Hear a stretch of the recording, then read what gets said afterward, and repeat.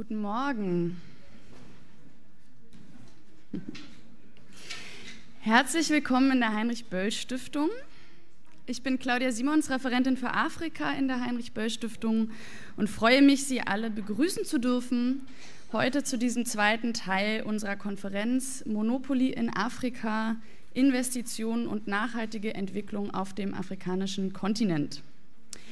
Wir hatten gestern Abend bereits einen großartigen Auftakt mit einer Einführung von unserem Vorstand Barbara Unmüßig und einer Keynote von Carlos Lopez, Professor in Cape Town und Oxford und ehemaliger Vorsitzender der Wirtschaftskommission für Afrika der Vereinten Nationen.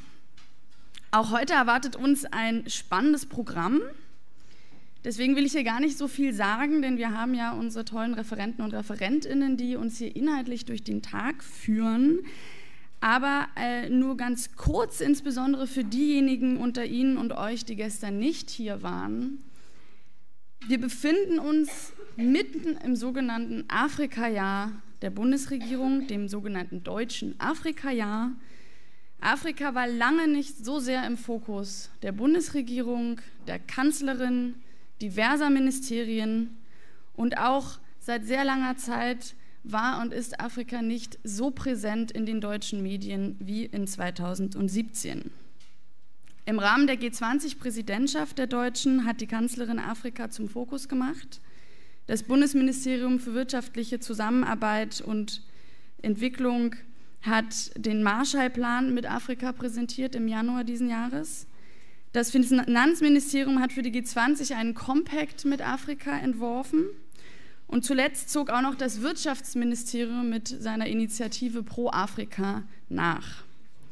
Im Juni findet ein Afrika-Gipfel hier in Berlin statt. Im Juli steht Afrika im Rahmen der G20 auf der Agenda des Gipfels in Hamburg. Und im November folgt dann der EU-Afrika-Gipfel. Bei aller Unterschiedlichkeit der verschiedenen Papiere und Initiativen stehen zwei Themen ganz klar im Mittelpunkt. Investitionen sowie Flucht und Migration. Häufig treten diese beiden Aspekte zusammen auf. Mindestens wer zwischen den Zeilen liest, wird darauf kommen, dass wirtschaftliche Kooperation, dass Investitionen vor allem als Strategie gehandelt wird, Menschen davon abzuhalten, den afrikanischen Kontinent Richtung Europa zu verlassen. Initiativen, Gipfel, man kommt kaum noch hinterher. Die diversen Vorstöße der Bundesregierung wurden bereits vielfach kritisiert. Man könnte sich jetzt an jedem einzelnen dieser Papiere abarbeiten, das haben wir aber nicht vor heute. Wir wollen hier kein Initiativbashing machen, das wäre langweilig. Was wir machen wollen, ist fragen, was wollen denn unsere vielfach genannten, aber so selten gefragten afrikanischen Partnerinnen und Partner in Bezug auf Investitionen, in Bezug auf nachhaltige Entwicklung auf dem afrikanischen Kontinent. Welche Arten von Investitionen und welche Investitionsregulierungen sind wünschenswert? Wie entstehen nachhaltig mehr Arbeitsplätze, aber nicht zu jedem Preis, sondern zu würdevollen Arbeitsbedingungen? Welche Ansätze tragen zu einer sozial-ökologisch nachhaltigen Wirtschaftsentwicklung bei? Denn bei all dem Hype um Afrika in Deutschland sind die Perspektiven der afrikanischen Partnerinnen und Partner kaum zu sehen. Und wenn afrikanische Perspektiven einbezogen werden, dann stellt sich immer noch die Frage, wessen Perspektiven das sind. Denn afrikanische Regierungen sind die eine Sache, private Wirtschaft ist eine andere und die afrikanische Zivilgesellschaft kommt dann am Ende meistens überhaupt nicht mehr vor.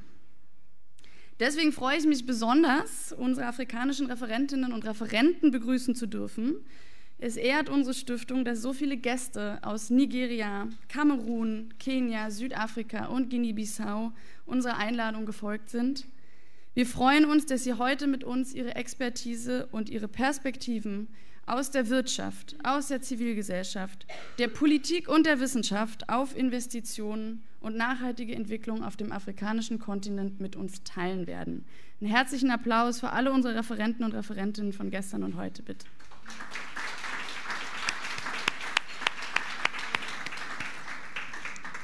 Sie haben alle das Programm vor sich, äh, im Print oder auf Ihren Smartphones. Äh, uns erwarten spannende Panels und Vorträge. Wir beginnen mit einer kurzen Einführung in die Afrikapolitik der G20, machen dann einen Reality-Check von Investitionsprojekten auf dem Kontinent. Wir lauschen einer Unterhaltung zwischen dem Architekten des Compact für Afrika mit Afrika und einem führenden kenianischen Ökonomen und Intellektuellen. Wir fragen uns, welches Engagement denn wünschenswert wäre und kommen schließlich darauf zurück zu fragen, was denn das alles für die deutsche Politik und Wirtschaft bedeutet. Bevor wir beginnen, ein kleiner organisatorischer Hinweis. Unser Haus ist heute voll. Wir sind nicht die einzige Veranstaltung. Deswegen wird es in den Pausen eventuell etwas gedrängt werden. Ähm, Mittag- und Kaffeepausen finden unten im Foyer statt, also beim Eingang rechts beziehungsweise bei der Treppe links, bei der Eingang und Rezeption, da wo Sie sich auch angemeldet haben. Und bitte kommen Sie pünktlich zu den Panels wieder in den Raum. Wie gesagt, es schwirren hier einige Leute im Haus äh, heute herum, damit da nichts durcheinander gerät.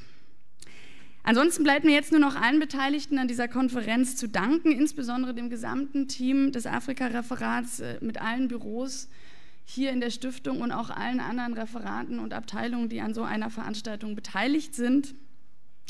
Und uns allen einen interessanten Konferenztag zu wünschen und zu hoffen, dass wir am Ende des Tages mit vielen Erkenntnissen und einem geschärften Blick auf Investitionen, auf nachhaltige Entwicklung in Afrika nach Hause gehen. Ich übergebe damit an Nancy Alexander, die das Economic Governance Programm der Heinrich Böll Stiftung in Washington, D.C. leitet und uns eine kleine Einführung in die G20 und Afrika geben wird. Nancy, bitte.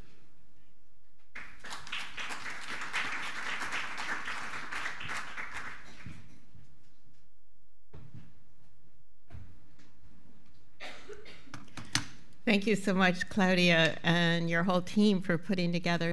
Vielen Dank, Claudia, und das ganze Team, dass du hier dass ihr hier so eine tolle Konferenz organisiert habt. In meiner Präsentation habe ich viele Folien. Sie müssen also die Information nicht aufschreiben, da ich Ihnen die Folien schicken werde, wenn Sie Interesse daran haben. Nur zwei Eröffnungsbemerkungen. Ich habe gegen die Politik der Welt Bank gearbeitet, die Afrika auferlegt wurde und auch anderen Regionen für schon 30 Jahre. Man glaubt es kaum. Und Barbara ist vor etwa acht Jahren zu mir gekommen und hat gesagt, Nancy, hast du kein Interesse an der Gruppe der 20 mitzumachen? Und ich wusste damals nicht so richtig, was da rauskommen sollte, aber das hat mich immer mehr mit Afrika beschäftigen lassen und meine Leidenschaft im Hinblick auf die afrikanische Realität betraf zwei Dinge. Als ich begonnen habe, zur Entwicklung zu arbeiten, hat die Welt Bank ihre Dokumente herausgegeben. Wir haben Dokumente über Ghana, Kenia erhalten und würden diese dann den Menschen vor Ort vorlegen und haben gesagt, wir haben für euch diese Dokumente gestohlen. Und es ging da um Investitionspläne der Weltbank und des IWF. Dann habe ich meine eigene Organisation gegründet äh, gegen die erzwungene Wasserprivatisierung. Ich habe also schon viele Jahre zu Infrastrukturproblemen gearbeitet. Und ich werde Ihnen einige meiner Einsichten zeigen. Und ich hoffe, auch von Ihnen zu lernen. Ich glaube, ich habe 20 Minuten Zeit. Und geben Sie mir bitte ein Zeichnen. Fünf Minuten vor dem Ende. Gestern Abend, als Carlos Lopez gesagt hat, Kolonialismus ist noch nicht vorbei, denn es gibt immer noch PIDA, das Programm für Infrastruktur und Entwicklung in Afrika auch diese These vertrete ich heute. Kolonialismus ist noch nicht vorbei. Von Billionen zu Trillionen. Das große Geld wurde den afrikanischen Führern versprochen für ein neues Zeitalter von Megaprojekten in Afrika. Die afrikanische African Development Bank und die afrikanischen Staatsoberhäupter haben gesagt, sie wollen äh, Energie äh, versorgen, die Infrastruktur äh, entwickeln und Afrika kann sich selbst versorgen. Aber es gibt auch die koloniale Agenda. Die, wenn man hier die ganzen Rohstoffe sieht, von Eisenerz, Kupfer, Nickel, Öl und Gas, das gibt also dieses alternative Narrativ, das hier etwas zu tun hat mit dem Monopol in Afrika, dass Leute von außen Zugang zu den Märkten haben wollen. Das Programm für Infrastrukturentwicklung und Afrika. Hier dazu einige Faktoren, vier Branchen, Energie, Wasser, äh, Verkehr und Informations- und Kommunikationstechnologie. Es geht offensichtlich nicht wirklich um nachhaltige Entwicklung, obwohl darüber viel gesprochen wird. China hat angekündigt, dass die äh, Straßeninitiative Ostafrika verbinden würde und Japan hat vor zwei Wochen angekündigt, dass sie sich zusammentun mit Indien für eine östliche Initiative in äh, Afrika. Auch die USA hat eine Initiative. Seit dem Zweiten Weltkrieg hat sich das äh, BIP von China vervierfacht. Die USA, da ist es gesunken. Und die Weltbank sagt, man kann viel, äh, eine Menge Geld bekommen. Es gibt 4,5 Milliarden arme Menschen, aber sie sind 5 Trillionen Dollar wert. Die Leute von außen wollen die Märkte, die Rohstoffe und ich bitte korrigieren Sie mich, wenn Sie das anders sehen. PIDA, äh, das gehört eigentlich, der, die Verantwortung liegt bei Afrika. Carlos hat gestern gesagt, die afrikanischen äh, Staatsoberhäupter müssen für Afrika kämpfen. Das ist die Energiekarte für PIDA mit den Energieprojekten. Ich habe diese Karte überall in Afrika gezeigt, in Accra, Nairobi, äh, Juba. Oft arbeiteten die Menschen an einem Projekt, aber sie wussten nicht, dass es Teil eines Masterplans war. Das ist der Masterplan für die Energie, hier für Verkehr.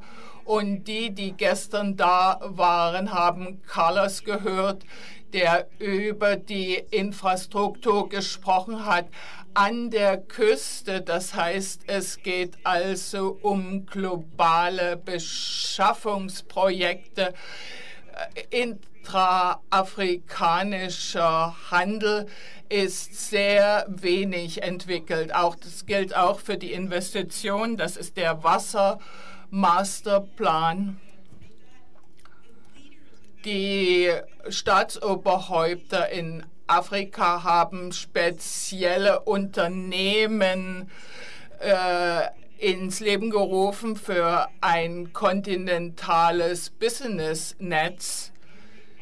Sie sind jetzt besorgt. Sie haben gesagt, wir brauchen mehr Geld, damit diese Projekte angeschoben werden. Es gibt zu viele Risiken für die Investoren. Wir brauchen hier also äh, Champions und es gibt eine spezielle Initiative für solche Champion-Projekte, die Sie hier sehen in Nigeria, wollten man wirklich, dass die nigerische Pipeline die Gasverbraucher in Europa versorgt. War das wirklich seine Priorität in Kenia? Und wir werden nachher davon noch etwas hören. Da gibt es eine besondere Initiative, die Sie hier sehen. Das sind die Initiativen, die die Präsidenten festgelegt haben. Und Barbara hat gestern ganz klar gesagt, Afrika braucht wirtschaftliche und soziale Infrastruktur. Das heißt, äh, dieses Ziel kann man hochhalten, aber was falsch ist, ist, dass PIDA die Priorität auf die Megaprojekte legt, die alle anderen Prioritäten überschatten wird und auch die Priorität auf PPP legt. PIDA hilft nicht oder bitte korrigieren Sie mich. Ich glaube, es wird nicht sehr hilfreich sein für urbane, intraafrikanische Infrastruktur, soziale Infrastruktur. Es ist nicht klar, ob das äh, etwas tut für die Verpflichtung aus den Pariser Abkommen. In all meinen äh, Reisen habe ich gesehen, dass die Zivilgesellschaft keinerlei Input in diese Strategie hat. Das Ziel ist, dass die Staaten Verträge abschließen mit privaten Investoren, um große Einkommensströme zu generieren. Es geht äh, um äh, die Projektvorbereitung auf der Basis von äh, Verträgen und die Risikoverteilung ist sehr unfair. Man hat eine Straße, einen Vertrag und dieser Vertrag macht die Straße in Einkommensflüsse für die Investoren, die nicht aus Afrika kommen. Das heißt, Ressourcen werden abgezogen aus Afrika. Und PPP ist äh, kontrovers. Was ist das hier? Ist das ein Bild von einem Hund oder von einem Kaninchen? PPP scheint was Großartiges zu sein für Investoren, für andere ist es aber eher schrecklich. Der, äh, es, man zeigt, es zeigt sich, dass PPP eine Menge zu gewinnen haben. Darüber können wir nachher noch einmal sprechen. Alle Nachweise, die ich in unterschiedlichen Studien gefunden habe und die ich hier aufgelistet habe, zeigen, dass die Investoren sich nicht darum scheren, was das für nachhaltige Entwicklung bedeutet. Oder unten steht, dass äh, es oft so gefährlich ist, dass das den Ruf der Länder schaden kann. Aber die afrikanischen Staatsoberhäupter wollen kurzfristigen Erfolg und sie weil keine kleinen Projekte. Wir werden Trillionen äh, Mittel einwerben, aber erreicht man das mit Megaprojekten und einer dereguliertem Umfeld? Erreicht man damit eine nachhaltige Entwicklung, dass Milliarden zu Trillionen Ziel wurde von sieben multilateralen Banken äh, angekündigt. Ich glaube, das ist schon meine letzte Folie. Lassen Sie mich abschließend sagen, dieses Milliarden zu Trillionen Plan. Ich habe gestern mit Carlos darüber gesprochen und ich habe gesagt, es macht mir Angst, dass der Traum des Präsidenten der Weltbank ist, dass die Maut und die Nutzungsgebühren, die äh, genutzt werden können, dass das letzten Endes den Pensionsfonds des Nordens zugutekommt. Und diese Pensionsfonds äh, profitieren davon. Für mich ist das die Verletzung der Menschenrechte. So viel Mittel gehen Afrika verloren durch äh, Schuldendienst. All diese Einkommensströme werden aus Afrika abgezogen, so dass Afrika letzten Endes ein Nettogeber ist für den Norden. Viele denken, dass wir äh, Afrika Hilfe gehen, aber es ist andersrum. Das wird oft nicht verstanden, wenn wir über einen äh, Vertrag sprechen. Es geht darum, wie können wir dieses Stehlen von aus Afrika äh, verhindern. Und dieser Plan ist ein weiteres Projekt, um die Einnahmen aus Afrika abzuziehen für die Pensionsfonds des Nordens. Gestern haben wir über äh, Null äh, Zinsen gesprochen. Das heißt, diese Pensionsfonds könnten bankrott geben, wenn sie keine neuen Einkommensquelle finden. Diese Verträge betreffen Generationen. Ich habe keine Zeit darüber zu sprechen, aber die Stiftung hat ein spezielles Projekt aufgelegt, um den G20 und der Weltbank entgegenzutreten mit dem Vertragsentwurf. Jede Regierung in Afrika hat einen Vertragsentwurf bekommen, wo die äh, Risiken äh, in der Mehrheit den Regierungen und den Steuerzahlern in Afrika zugeschoben wird. Ich möchte wirklich Ihre Meinung hören, ob ich hier richtig liege oder ob ich korrigiert werden muss.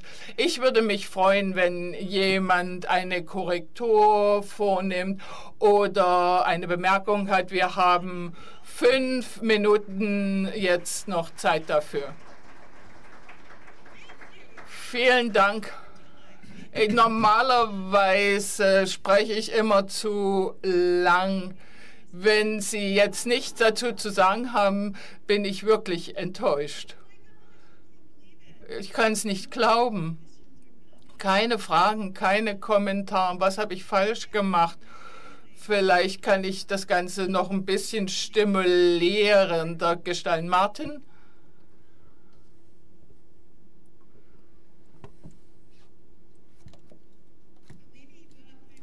Vielleicht haben wir noch Zeit für Martin und für die eine weitere Frage. Die anderen waren gelangweilt. Vielen Dank für die Präsentation. Keine Angst, wir haben dich nicht zu korrigieren. Du hast völlig recht in dem, was du gesagt hast. Und ich glaube, wir sollten tiefer in die Diskussion einsteigen, wie du das gesagt hast. Und da werden wir einige der Dinge aufgreifen, die du gerade gesagt hast. Ich glaube, Martin spricht nicht für jeden, wenn er sagt, alles, was ich gesagt habe, stimmt.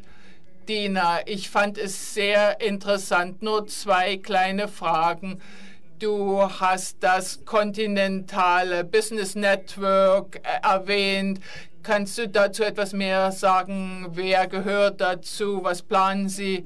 Und zweitens, hast du Vorstellungen für Alternativen, wie man die Infrastruktur alternativ aufbauen kann auf gerechte Art und Weise? Das Continental Business Netzwerk wurde von der Beratungsgruppe von PIDA ins Leben gerufen. Es besteht aus Banken und großen Unternehmen. Die Präsidenten von Afrika haben sich getroffen mit dem PIDA World Economic Forum, um Entscheidungen zu treffen im Hinblick auf grenzüberschreitende Investitionen. Das Haupt Ziel ist, dass nordisch dass Pensionsfonds im Norden investieren.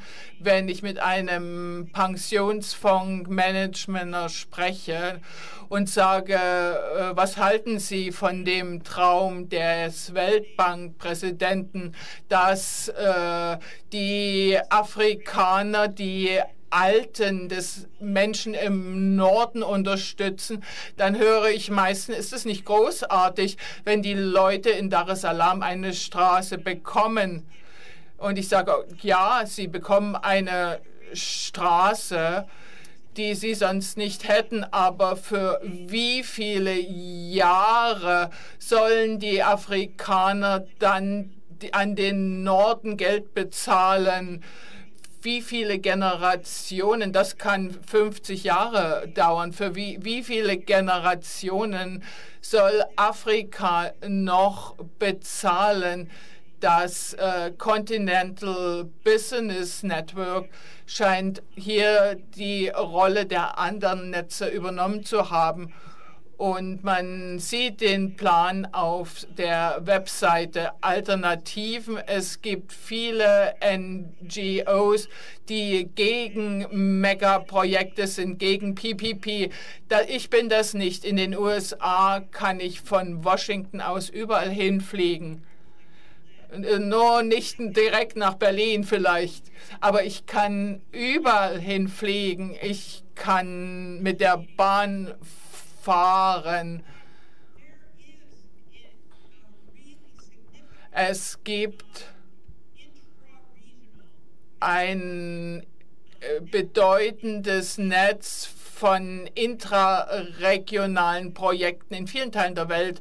Und Afrika sollte das auch haben. Das Problem beginnt äh, eigentlich gibt es da viele Beispiele, aber erst einmal sollte die grenzüberschreitende Af Infrastruktur die afrikanischen Länder miteinander verbinden wenn Afrika äh, Wertschöpfungsproduktions haben muss, braucht sie die Infrastruktur für den eigenen Bedarf und meiner bescheidenen Meinung nach muss es erst einmal den lokalen und regionalen Märkten dienen. Aber dieser Plan wird von außen entwickelt und die äh, Zugang haben wollten zu den afrikanischen Ressourcen und Märkten.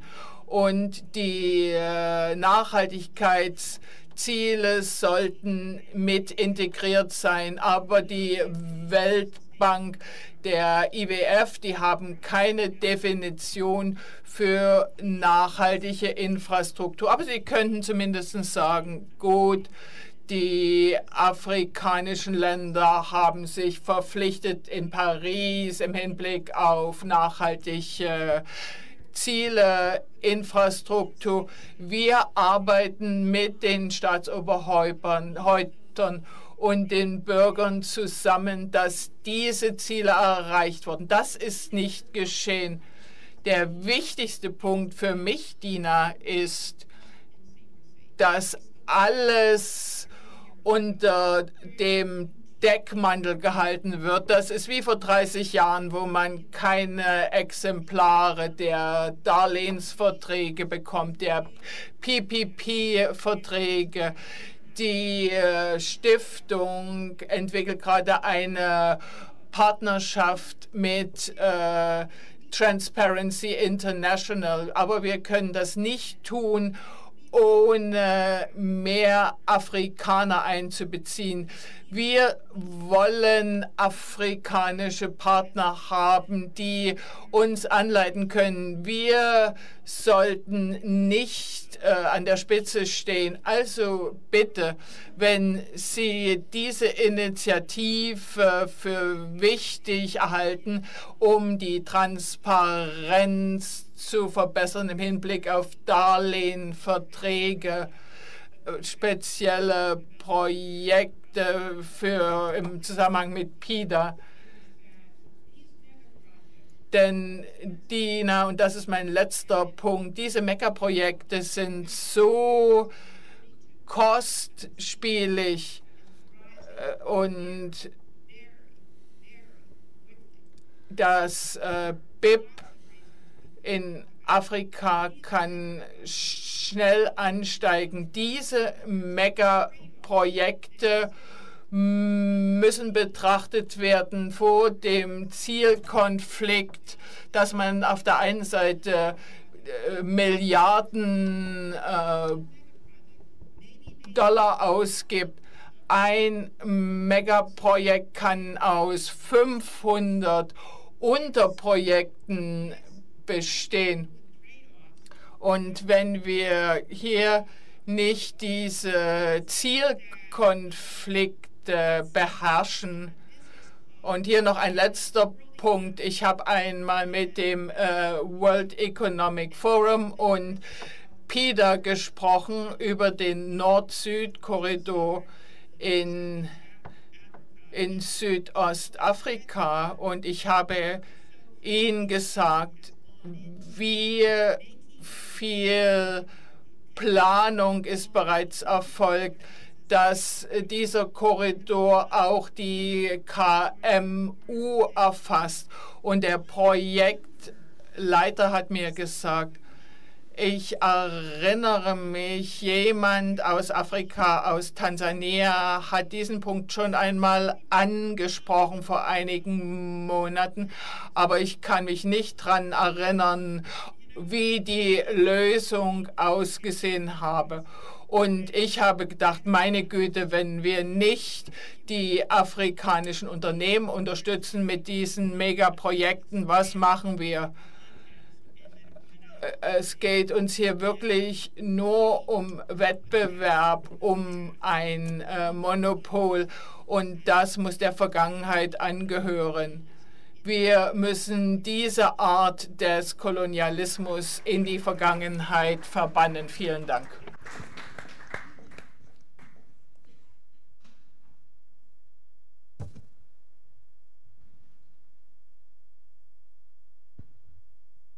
Thank you, Nancy. Vielen Dank, Nancy, Nancy Alexander, äh, für diese Einführung. Es gibt jetzt die G20 und sonstigen äh, Diskussionen über Investitionen und das ist eigentlich immer sehr abstrakt und wir müssen uns mal überlegen, wenn, was es bedeutet. Wenn wir über äh, makrowirtschaftliche äh, Stabilität reden, über PPP und so weiter, Finanzierungsmodelle für, für Investitionen, äh, bankfähige Produkte etc., was bedeutet das eigentlich konkret? Äh, und wir werden jetzt äh,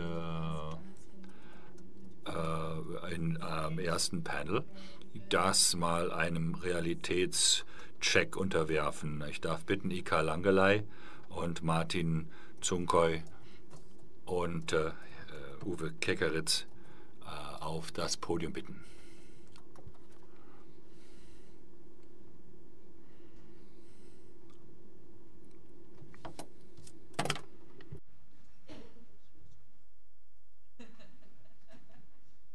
So as I said, in this panel we really try to get Wir versuchen jetzt mal ja, wie soll man sagen, ins Eingemachte mal zu gehen. Wenn wir diese Sachen äh, uns anhören, was bedeutet das? Was äh, sind das in Investitionen, Infrastrukturprojekte? Was bedeutet äh, es, bevor äh, vor überhaupt entschieden wird, was passiert dann? Wer entscheidet darüber? Wer ähm, bezahlt es und wer zieht Nutzen aus all dem? Wir haben jetzt drei Podiumsteilnehmer.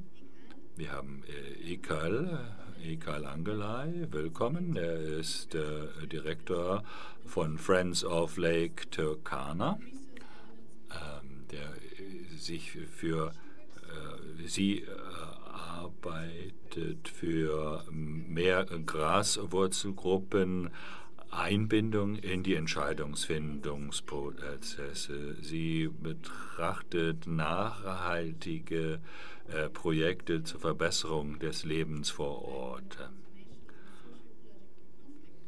Sie äh, konzentriert sich auf äh, Projekte im Zusammenhang mit dem Problem der Erdölförderung rund um den See Turkana. Willkommen. Martin ist äh, hier ähm, ein Vertreter der Africa Development Interchange Network Organisation. Er ist äh, Berater für äh, kommerzielle Studien in Kamerun. Martin ist vormals äh, Chef eines, einer Beratergruppe und er ist auch äh, ähm, im Bereich der Evaluierung äh, unterwegs. Er ist Dolmetscher. Er ist, entschuldigen Sie, er ist nicht Dolmetscher, er ist Doktor. Und ja, willkommen Martin Zunkai. Und last but not least haben wir hier Uke, Uwe Kerkeritz, der Sprecher für Entwicklungspolitik der Grünen Bundestagsfraktion. Der ist äh, auch Mitglied im Ausschuss für wirtschaftliche Zusammenarbeit. Er ist seit 1990 bei den Grünen und 2009 ist er Mitglied äh, des Bundestages. Vor der politischen Karriere hat er gearbeitet als äh, selbstständiger Unternehmensberater, auch als Lehrer für öffentliche und private äh, Institutionen. Er hat auch eine Zeit in Kamerun gearbeitet für den Deutschen Entwicklungsdienst. Willkommen, Uwe Keckeritz. Wie schon äh, gesagt. Lassen Sie uns jetzt mal konkreter diskutieren. Egal. Welche Erfahrung haben Sie mit äh, Investitionsprojekten? Sie arbeiten ja viel äh, in diesem Zusammenhang im äh, Turkana-See-Bereich. Kenia, können Sie uns eine möglich eine, darlegen, was das eigentlich bedeutet, diese Investitionsprojekte für Ihren Bereich? Ja, vielen Dank, Claudia Simons. Ich komme aus dem Gebiet des Turkana-Sees. Das ist ein marginalisierter Bereich. Da haben wir äh, wenig Bildungsinstitute. Da gibt es nur was von der katholischen Diözese. Alles, was es dort gibt, gibt wird äh, von NGOs unterstützt oder von der katholischen Diözese. Und man hat gesagt, äh, man muss privat investieren, also äh, Windkraft. Wir haben da das größte Windpark in Afrika. Äh, der ehemalige UN-Direktor versuchte da immer Finanzmittel zu organisieren. Auf der anderen Seite sehen wir die Wasserkraft, die betrieben wird an der Grenze zwischen Kenia und Äthiopien. Äh, das sind aber auch im Wesentlichen externe Kräfte, die das betreiben. Da gibt es grüne Energieprojekte sozusagen, aber da gibt es zwei Seiten. Da ist äh, einfach Mangel ähm, an Konsultation, denn da geht es ja um indigene Bevölkerung und deren Land. Und dann haben wir auf der einen Seite Staatseigentum und dann haben wir PPP. Und ob das jetzt PPP ist oder ob das jetzt äh, regierungsamtlich ist, das ist alles auf äh, Community-Land. Und da müssen wir sagen, hier, wer sind denn eigentlich die Eigentümer, wo ihr diese ganzen, ganzen äh, Projekte da umsetzt? Ja? Ist das wirklich für äh, äh, die Daseinsvorsorge? Ist das für alle gut? Und äh, man sagt nicht, was da generiert wird, zu welchen Kosten und so weiter. Gibt es da nicht dann am Schluss nur mehr Korruptionsmöglichkeiten? Denn äh, ist das, was da passiert, für Kenia? Und äh, was sind die Kosten äh, für diese Stromerzeugung? Wäre es vielleicht nicht günstiger, von woanders Strom zu beziehen? Und die beiden größten Projekte, wieder äh, Ölprojekte, auch wieder Mangel an äh, Transparenz, Pipeline. wie geht es damit? Von Turkana wo soll die Pipeline hin? Ja, man hat halt Öl, man hat äh, eine ähm, Pipeline, die baut man, äh, die kostet viel Geld. 25 Jahre später haben wir kein Öl mehr. Was machen wir dann mit der Pipeline? So, das sind alles die Fragen, die diskutiert werden müssen. Ähm, wie sieht es aus? Ähm, wie sind es mit den Kosten? Äh, was sind die Auswirkungen auf äh, die, die Bevölkerung, auf das Land? Gibt es Transparenz zu all diesen Projekten? Und äh, was ist die Verbindung zu den tatsächlichen Produzenten, wenn sie Power, wenn sie äh, Strom erzeugen? Und wenn ich dann aber als Fischer nicht mehr fischern kann, was kann ich denn dann mit diesem Strom anfangen? Ja, dieser Strom, äh, der sozusagen dort erzeugt wird, der wird ins Hauptnetz eingespeist und äh, die Leute vor Ort haben noch nicht mal einen Anschluss dann. Das heißt, die Leute ähm, äh, vor Ort haben keine Lebensgrundlage mehr zahlen über die Steuern die Investitionen und haben nachher einfach auch keine Lebensgrundlage mehr. Das geht nicht. Äh, wir haben uns äh, immer angeguckt, wer ist der Finanz, äh, Finanzier dahinter. Meistens Pensionsfonds aus Deutschland, DFE, ganz unterschiedliche äh, Investitionsquellen, aber auch von den Dänen versuchen wir mit der dänischen Zivilgesellschaft zusammenzuarbeiten, um dann Fragen zu stellen an den dänischen Pensionsfonds, der da sehr stark äh, investiert. Die Holländer auch sind vor Ort aktiv. Das sind alles Sachen, äh, dass das PPP ist, aber die kenische äh, äh, äh Regierung hat dort Bürgschaften gestellt, hat aber einfach gar nicht das gelesen, was es unterschrieben hat. Äh, zum Beispiel Windkraft äh, ist nur zyklisch. Das heißt, ähm, man hat darüber gar nicht nachgedacht. Ähm, äh, äh, was das bedeutet, dass es da Schwankungen gibt. Also haben wir Speicherprobleme. Wir haben also zum Beispiel dann die äh, Stromerzeugung manchmal, aber keine Speicher. Das, ähm, viel Energie wird nachts erzeugt, äh, wird nicht gespeichert, kann untertags also auch gar nicht verwendet äh, werden. Ja? Das sind alles Probleme. Sie sagen, dass die lokalen Gemeinschaften schwer äh, negativ beeinflusst sind von diesen Projekten und Sie haben von, dem, äh, von der Absenz von Konsultationen und Vereinbarungen gesprochen. Äh, wie kann man die lokale Bevölkerung einbinden? Oder gibt es, sagen wir mal, Bemühungen diesbezüglich?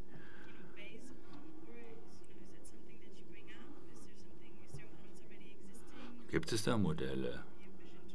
Was wäre Ihre Vision? Wie könnte man die lokale Bevölkerung mehr involvieren? Und ja, die Konsultation ist ganz entscheidend. Ob wir zustimmen, ob wir nicht zustimmen, wie auch immer, die Konsultation mit jedem Land ist natürliches Kapital und es ist auch ein nationales Eigentum. Das, die Frage ist immer, wird es verkauft, wird es vermietet? 150.000 Hektar Land äh, äh für 100.000. Kenia, äh, Schilling äh, ist nichts, aber vielleicht äh, sollte man äh, mal andere Sachen überlegen, äh, wie man das anders gestalten kann. Kann man das Land nicht an die Bevölkerung aufteilen oder dass die Leute dann sozusagen ähm, ähm äh, sich zu, zu beteiligen und dann auch Profit zu ziehen. Wir haben ja immer diese Diskussion, PPP, sei gut, aber es ist sehr extraktiv. Es sind, äh, äh, das heißt, wir fragen uns selbst, wenn man sagt, das ist für das öffentliche Gut, äh, für die Entwicklung, wer wird da entwickelt? Wem gehört diese Entwicklung? Das muss diskutiert werden. Und dann werden wir in der Lage sein, die Gemeinschaften mit einzubinden. Aber solange wir die Community ausschließen, ist es keine, Defi äh, ist es keine Entwicklung. Sie haben ja schon über das Windkraftprojekt äh, äh, gesprochen und Sie haben auch gesagt, äh, dass, äh, dass, dass Projekte, die wenig, die kernstoffarm sind, die grüne Energie fördern, aber dass diese auch Risiken mit sich bringen. Welche Risiken sind das? Die, dass die, dieser Entwicklung Richtung grüne Energie. Das war alles ja klein dezentralisierte Projekte. In Afrika haben wir unglücklicherweise immer noch das Hauptnetz und das muss immer noch ins Hauptnetz eingespeist werden. Das heißt, wir konzentrieren uns nach wie vor auf Megaprojekte. Das heißt, das Problem wird nicht wirklich angepackt. Klimawandel haben wir da. Wir haben die Luftverschmutzung, aber in Ökosysteme, wenn die geschädigt werden, in dem Maße, wie wir ähm, äh, kohlenstoffarme Energie fördern, dann vergessen wir, dass diese Pro äh, Projekte nicht in einem Vakuum stehen. Ökosysteme sind dazu, um den Lebensunterhalt, Lebensunterhalt der Menschen zu sichern. Und was ist das Ergebnis von einem solchen Projekt? Und das müssen wir immer diskutieren. Ja, ich bin für grüne Energie und ich bin für Bekämpfung des Klimawandels. Aber was ist dann noch die Lebensgrundlage für uns in der Community? Das heißt, äh, wir sehen ja auch bei der äh, Kommission für äh, Dämme, ja, Wasserkraft ist grün, aber ähm, es braucht eine Größe, die machbar ist, die, äh, die Lebensgrundlagen nicht zerstört, die die Menschen vor Ort unterstützt. Und bei Windkraft, da wird immer gesagt, grün, grün, grün. Aber ähm, das interessiert dann nicht, äh, dass Land verloren gegangen ist, dass äh, Lebensunterhalt verloren gegangen ist und die Leute sagen einfach weiter, die Investoren, es ist grün, grün, grün, weiter.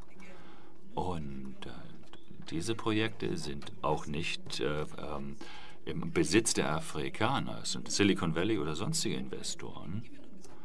Ja, es gibt diese ganzen Kredite. All das Geld, das generiert wird aus Carbon Credits, äh, ist nicht bei den Bürgern angekommen, deren Land weggenommen worden ist, wird äh, zwischen den Investoren und der Regierung aufgeteilt. Und da heißt es immer Carbon Credits, Carbon Credits. Ja, wie viele Communities haben überhaupt Nutzen gezogen aus Carbon Credits? Und selbst die, die äh, Nutzen gezogen haben, äh, wie viel Geld haben die bekommen? Das weiß man alles gar nicht. Das heißt, die Leute kommen in in Bereiche, die Naturländer waren. Und dann hat man ein Paket genommen, hat das gebrandet, hat dem Ganze Sichtbarkeit gegeben und hat äh, das sozusagen dann verkauft. Ja, äh, aber nach wie vor bei den Carbon Credits haben die Communities sozusagen ihr Land vergessen. Wir müssen natürlich nach wie vor kohlenstoffarme Entwicklung fördern, aber nach wie vor schon erwähnt, welche Entwicklung, wer kompensiert wen für welchen Landverlust und so weiter. Da gibt es chinesische Investitionen, da gibt es äh, diesen Diskurs in Europa, wie chinesische Unternehmen äh, eigentlich sich nur für äh, das Geschäft interessieren und nicht für Menschenrechte und solche Dinge. Wie sehen Sie das? Ähm, wenn wir konkrete Investitionsprojekte haben, wie sieht denn dann die Realität aus? Um, Claudia, you're, you're asking me a very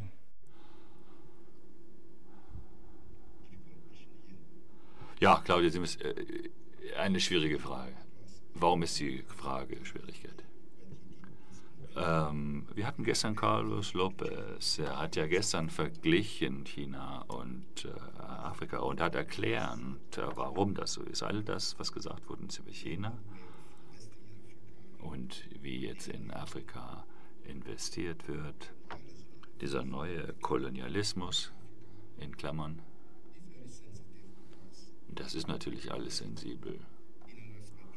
Aber ich will das in eine andere Perspektive setzen. Vor 50 Jahren fingen wir an mit einer Kooperation mit unseren ehemaligen Kolonialherren. Die Jahre gingen ins Land und nach 50 Jahren war nichts passiert. Wenn man sich die Infrastruktur, ähm, Landkarte anschaut, die Nancy, Nancy vorgestellt hat, äh, sie können nicht von, wissen nicht, wie sie von Guadalajara nach Termina äh, fahren sollen. Auch nicht, wie man nach, von Lagos nach Mombasa kommen kann mit dem Auto. Ich, äh, einige Afrikaner werden schon wissen, warum ich Ihnen das jetzt sage. Ich habe da schon eine Intention. Als die Chinesen dann kamen nach Afrika, nach ein paar Monaten schon, da gab es dann schon die Dinge zu sehen, ähm, die die Chinesen versprochen hatten.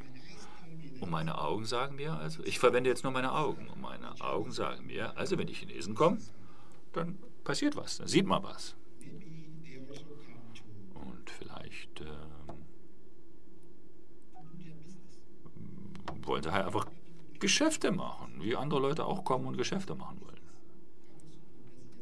Carlos Jobes hat gestern gesagt, Investitionen, über die wir hier reden, die Investitionen, die sie nach Afrika äh, bringen wollen, äh, dies machen sie nicht, weil sie Afrika mögen, sondern weil sie profitabel investieren wollen, weil sie ein Interesse haben.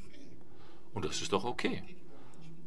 Ähm, irgendwie muss doch der Pensionsfonds irgendwo Geld verdienen. Ja? Damit die Leute, die, die ähm, sozusagen die, die Fondseigentümer dann auch ein Geld bekommen. Nancy, das ist Geschäft. Aber wo stehen wir da als Afrikaner? Wo sollten wir stehen? Welche Standpunkt dazu sollten wir haben? Genau darüber sollten wir diskutieren. Wir sollten auch herausfinden, wo unsere eigenen Interessen sind. Man kann nicht einfach nur sagen, von PPP nach CPP oder sowas. Da, da, da, muss das C noch mit ran. Wenn wir das C hinzufügen, dann können wir den Leuten sagen, was sind unsere Bedürfnisse und was sind unsere Erwartungen. Und dann können wir die Investitionen verhandeln, die dann wirklich nach Afrika fließen sollten. Äh, wie Sie sehen, habe ich Ihre Frage äh, sehr geschickt umschifft, weil ich genau das diskutieren will, welche Art der Investitionen wollen wir in Afrika, brauchen wir in Afrika und wie kriegen wir das? Das heißt, es ja nicht daran, äh, wer investiert, sondern wie man das macht. Ja, ja genau. Und das versuchte Nancy, glaube ich, auch zu erläutern. Wir haben ja hier ein Interessenspiel. Die mit ihrem Geld kommen, die wollen äh, ihre Interessen verteidigen die Nancy, die Landkarte, die du gezeigt hast, mit äh, Straßen entlang der Küste. Ja. Das ist ähm, Bee-to-Honey-Infrastruktur, also Bienen zu Honig-Infrastruktur. Die wollen den Honig. Und wir in der Community müssen sehen, gut, die Bienen wollen den Honig, und wir wollen aber auch was davon haben, was wir brauchen. Und das ist immer ein Verhandlungsspielchen, wo wir unsere Verantwortung wahrnehmen sollten. Und da hatten wir äh, gestern auch gefragt, sind wir Afrikaner nicht auch Teil des Problems? Und das ist eine Verantwortung, die wir aber auch wahrzunehmen haben. Und darauf müssen wir dann unseren Verhandlungsansatz aufbauen. Ja, äh, diese, diese Frage auch dann der, der Entwicklungszusammenarbeit generell. Es scheint einen Konsens zu geben zwischen regionalen und internationalen Organisationen, privaten Investitionen und so ähm, bezüglich der Notwendigkeit einer strukturellen Anpassung der afrikanischen Volkswirtschaften. Das kann viel bedeuten. Ähm, prädatorischer Kapitalismus ja, bis zu Wohlstand für alle wenn man sich die laufenden Investitionsprojekte anschaut, welche ähm, Transformation passiert da, welche ist wünschenswert? Und was sollten wir wünschen? Ich lächle, denn strukturelle Transformation, Reformen, diese großen Worte, die uns dann sozusagen immer präsentiert werden, hat doch gar nichts mit unseren äh, Erwartungen als Afrikanern zu tun. Und da sollten wir uns auch immer die Geschichte anschauen und äh, mal die diskutieren. Aber ich will kurz in die Geschichte äh, rekurrieren, um das zu erklären. Welche Infrastrukturen brauchen wir? Und wenn man das in der Geschichte sich anschaut, dann ist die afrikanische Unabhängigkeit Wir haben da eine Infrastruktur, die was zu tun hat mit weißen Elefanten. Die Afrikaner, die hier sitzen, wissen, was ich meine. In den 70ern, als die Weltbank äh, Infrastruktur unterstützte, äh, also Zugang zu natürlichen Ressourcen, und dann hoffte man, dass der äh, dass dann sozusagen auch die Leute vor Ort Nutzen ziehen würden. Das ist vollkommen gescheitert, als wir versuchten, eine produktive industrielle Infrastruktur umzusetzen, war, hatten wir weiße Elefanten äh, gebaut. Die Wahl war immer eine falsche. Wir haben immer das Falsche gewählt. Warum? Weil die nichts äh, mit der Community zu tun hatte, mit den Erwartungen der Leute vor Ort zu tun hatten. Und dann ging es weiter in der Geschichte. Dann kamen wir in die 90er Jahre und dann wurde der formale Ansatz der 70er wieder geändert in etwas moderneres, äh, immer noch im Geiste Biene, Honig, Infrastruktur. Und dann äh, ja, diese äh, Extraktion der natürlichen Ressourcen sozusagen basiert. Und wieder haben wir niemals berücksichtigt, was die Leute vor Ort erwarteten. Und wenn man sich diese Geschichte anschaut und jetzt zu der Perspektive der neuen Initiativen kommt, also diese Initiativen, äh, die wir gestern gehört haben, äh, also Kompakt zum Beispiel für Afrika, Marshallplan für Afrika und so weiter, haben wir gestern ja gehört drüber. Was sollte da das Ziel sein? Was sollen wir damit erzielen wollen? Die äh, Leute vor Ort wissen, was man damit erzählen soll.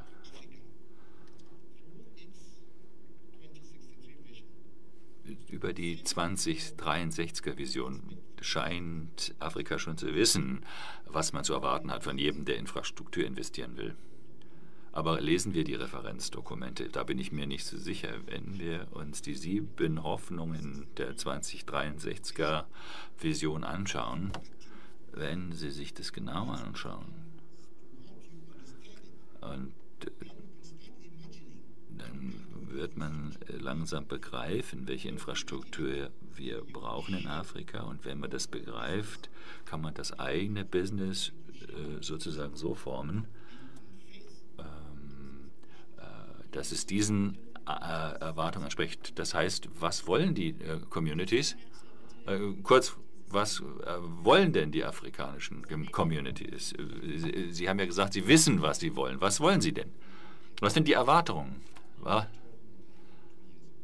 Ich erzähle Ihnen, welche Erwartungen ich vor zwei Jahren hatte. Was ich gehört habe in Kamerun. Und das passiert man wahrscheinlich, das hört man in anderen Ländern auch. 2013, als wir diese Konsultationen zur ähm, Post-2015-Agenda äh, diskutiert. Leute haben gesagt, Bildung, Gesundheit, ein sicheres Umfeld, Arbeitsplätze. Und dann, das wollen wir alles.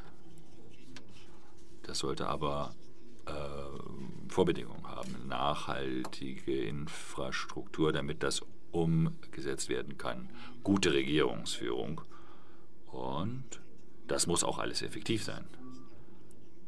Wir wollen nicht irgendwelche schicken Schulen, die man nicht äh, verlegt, oder äh, irgendwelche Krankenhäuser aufbauen, die schick sind, aber wo man nicht hinfahren kann. Wir brauchen also eine Infrastruktur, die nützlich ist. Und selbst wenn man nicht so viele Schulen äh, bekommt, wie man haben sollte, aber die, die bestehen, sollten einfach nützlich sein.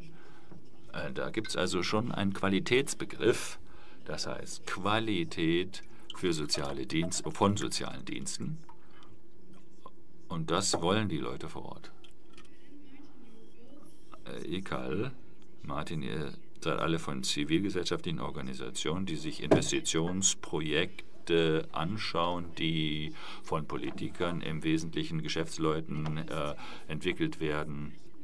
Und wenn es über die öffentliche Diskussion von Investitionen und Wirtschaftspolitik im Allgemeinen äh, geht, da gibt es die 20 äh, innerhalb der G20, da ist man dann involviert. Und da möchte ich jemanden zitieren, der heute nicht kommen konnte, Giergitano von TVA in Afrika. Der sagt, dass sie es oh, ähm, ihre Ideen darstellen können und dann kommen die echt dicken Pragmatisten und die äh, echten Geschäftsleute, die machen dann das echte Geschäft. Wie sehen Sie das? Wie stellen Sie, schätzen Sie das ein? Wie, was ist Ihre Meinung dazu? Äh, sind wir da sozusagen als Zivilgesellschaft nur sozusagen ein Betrachter, der mal was sagen darf und sonst aber keine Mitsprache hat? Ich soll anfangen? Ja, ich kann anfangen.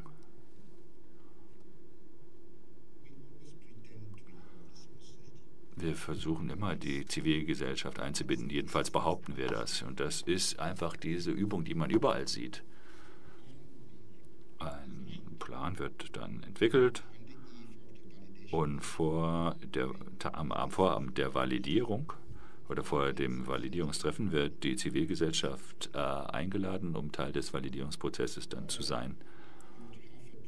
Oder dann hat man ein Projekt im Beispiel hier, dieses Kameruner Projekt. Dann hört man, ja, das Projekt wird implementiert, man weiß gar nicht, wo es herkommt, und niemand weiß, wovon die, wer die Idee gehabt hat, was, das, was Ziel und Zweck ist, weiß man auch nicht.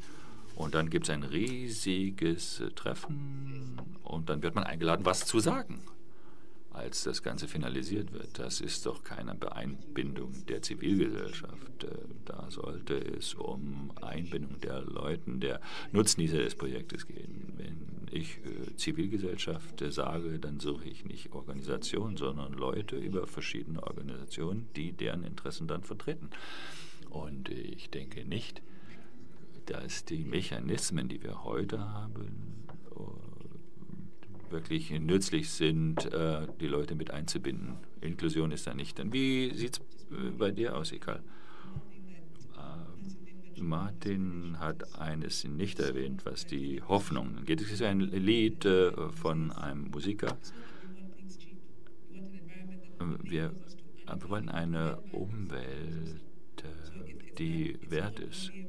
Da geht es nicht nur ähm, äh, es geht wirklich um ein Umfeld, das man schützen muss, ähm, äh, damit man ein, einen Lebensunterhalt hat. Aber ähm, wir sollen das dann bereitstellen, dieses Umfeld, und dann äh, haben wir nicht die Möglichkeit, unseren Lebensunterhalt damit äh, zu wählen. Ich habe gestern gedacht, als äh, Carlos äh, Lopez gestern sprach, war er sehr diplomatisch. Es war schön, ihn gestern zu hören und zu sehen. Und er hat etwas sehr Schönes gesagt und Richtiges gesagt.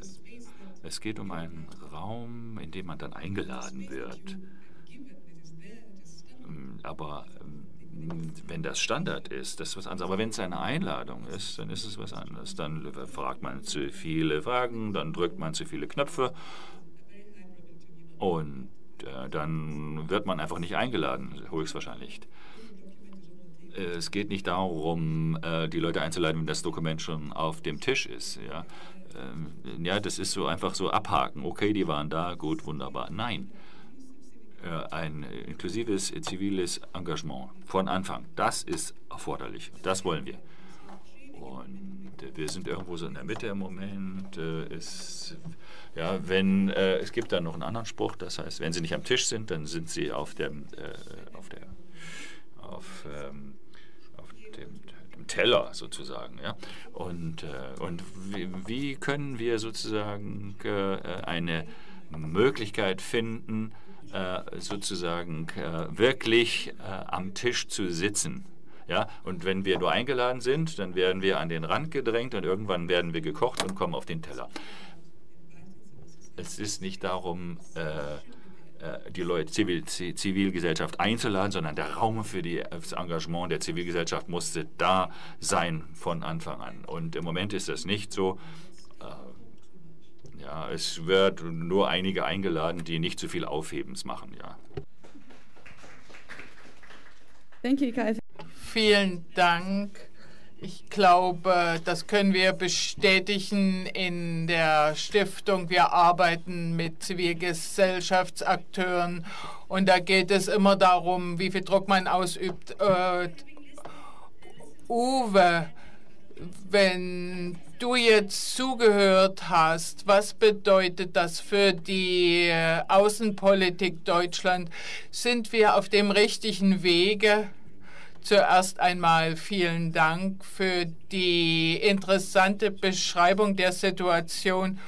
Und jetzt soll ich hier etwas zusammenfassen und die Frage beantworten. Das ist also sehr schwierig, deshalb steige ich jetzt auf Deutsch um. Das ist äh, einfach. Investitionen in Afrika angeht. Ja, ich bin äh, Mitglied der äh, Grünen Bundestagsfraktion und wir sind äh, dabei ganz massiv und ich glaube auch sehr fundiert, äh, die Initiativen, die sich ja weltweit häufen, eigentlich auch zu kritisieren. Und äh, warum wir die kritisieren, das ist, glaube ich, in diesen Gesprächen schon sehr schön herausgestellt worden. Man fragt weniger nach den äh, Wünschen und äh, Notwendigkeiten, die vor Ort äh, bestehen.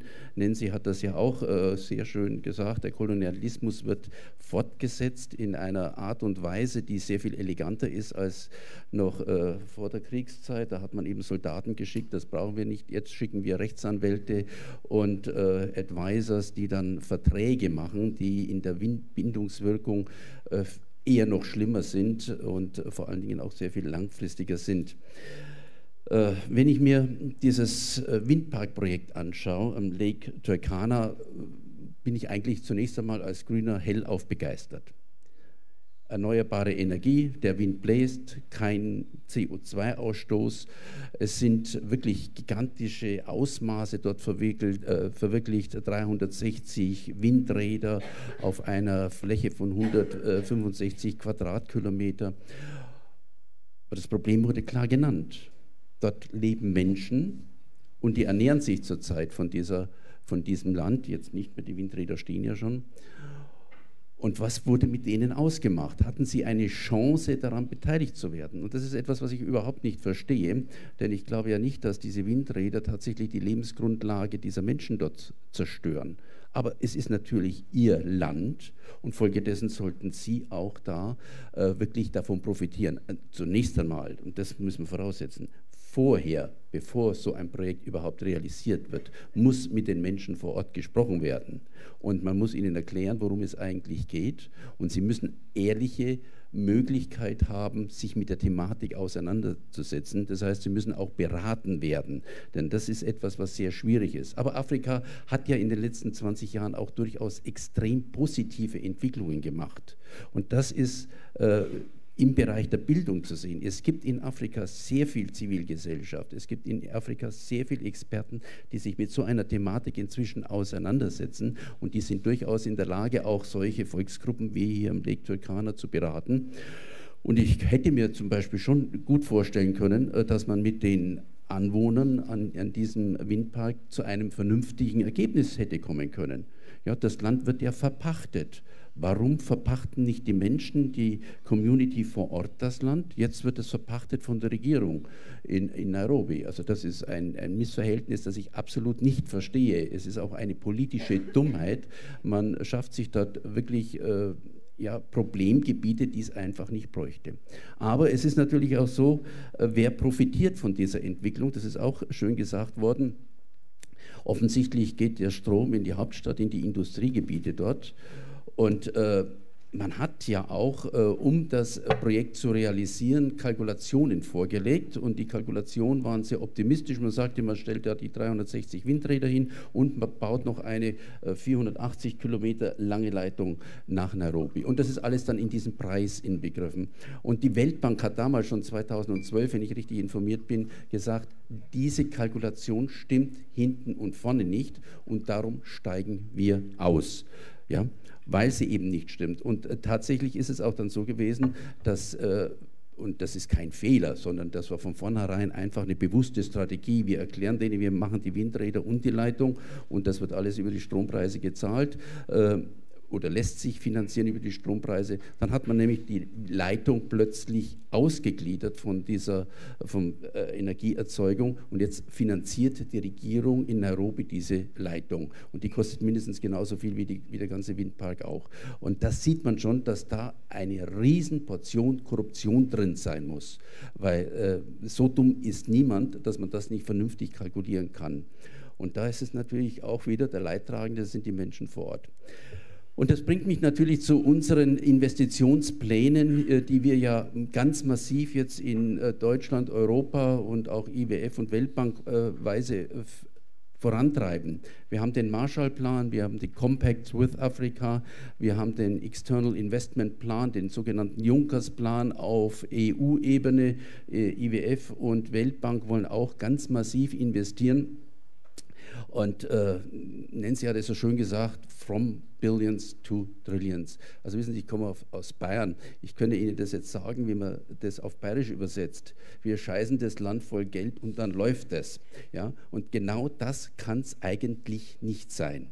Denn Investitionen, das ist unsere Erfahrung seit den 50er Jahren und das ist auch der Grund, warum es einen Ruggie-Prozess gegeben hat, warum John Ruggie seine Guiding Principles äh, veröffentlicht hat. Investitionen sind notwendig, und sinnvoll, aber sie müssen bestimmten Bedingungen gehorchen. Wenn sie das nicht tun, dann werden sie eher destruktiv für das Land sein oder negative Entwicklungen verstärken. Im besten Fall erhalten sie dann einen schlechten Stand aufrecht. Also gerade wenn ich an die Textilindustrie in Bangladesch denke, da wissen wir das, die Situation ist niemals besser geworden durch die Industrie, auch wenn da Millionen Menschen in diesem Bereich arbeiten. Aber es wird nicht besser und es geht auch nicht voran. Was erwarten wir von Investitionen? Ja, ja, also es ist etwas gesagt worden von Expectations. Wir müssen wissen, was die Menschen vor Ort erwarten. Das war mir allerdings auch, Martin, etwas zu undifferenziert und zu ungenau. Also ich hätte mir schon noch ein bisschen klarer äh, eine Erklärung darüber gehabt, was denn wirklich erwartet wird. Aber von unserer Sicht aus, wir können hier nur allgemein theoretisch sagen, muss ich erwarten, dass die Bevölkerung vor Ort profitiert dass es so etwas wie eine Gemeinwohlentwicklung gibt, dass Investitionen auch immer zu Steuereinnahmen vor Ort führen und diese Steuereinnahmen müssen dann auch transparent sein. Bevor es zu einer Investition kommt, muss Transparenz hergestellt werden für die Zivilgesellschaft, für die Menschen äh, vor Ort. Und ähm, da gibt es eben in diese Richtung ganz viele äh, Fragen und eigentlich auch schon Antworten. Wir haben ja die SDGs verabschiedet 2015 und ich glaube, das ist der Fahrplan, in, an dem sich sämtliche äh, ja, Investitionen auch zu orientieren haben. Wir haben zum Beispiel den, äh, das SDG Nummer 10. Das SDG Nummer 10 sagt, dass die Ungleichheit in, auch, ja, reduziert werden soll. Ungleichheit innerhalb der Länder, aber auch zwischen den Ländern. Und da stellt sich natürlich schon die Frage, inwieweit unsere Investitionen mehr dem europäischen Interesse dienen oder dem Investoreninteresse als, dem, äh, als der Nation, in der eben äh, investiert wird. Und das ist auch schön gesagt worden von Nancy, hat es ja wunderbar gesagt, hier werden Großprojekte realisiert und äh, es werden Investitionen gefördert, um auch dann tatsächlich den Profit rauszuholen. Profit ist in Deutsch ein fürchterliches Wort, im Amerikanischen, im Englischen nicht, da ist es akzeptiert. Es ist einfach Profit, der abgeführt werden soll. Und meine äh, Befürchtung besteht eben auch darin, dass diese ganzen Investitionspläne zu so äh, etwas wie dem Washington Konsens 2.0 führt. Washington Konsens, ich weiß nicht, ob das bekannt ist, das war eben ein Programm, das in den 80er Jahren entwickelt worden ist und in den 90er Jahren entwickelt worden ist und das sollte im Prinzip der neoliberale Investitionsboom weltweit äh, vorantreiben. Und die Ideologie dahinter ist, wenn es den Unternehmen gut geht, dann gibt es diesen Triple-Down-Effekt und dann profitieren alle Menschen davon. Es spricht heute kein Mensch mehr von äh, Washington-Konsensus, aber Sie haben gelernt daraus, Sie sprechen nicht davon, Sie machen es aber trotzdem. Und diese ganzen Investitionsinitiativen, die ja letztlich auch was mit unserer Fluchtproblematik zu tun haben, ja, die gehen in diese Richtung. Es sind Billionen tatsächlich äh, von Kapital auf dem Weltmarkt vorhanden, die keinen Ansatzpunkt haben. Man kann sie nicht mehr vernünftig investieren. Und deswegen ist diese Situation in Afrika eigentlich ideal. Da kann man noch investieren. Da sind jede Menge Rohstoffe, da ist auch jede Menge an fruchtbaren Landes, wo man also dann, äh, was weiß ich, Energiepflanzen züchten kann oder Soja oder sonstiges, alles, was halt der Westen braucht, kann man da sehr gut züchten.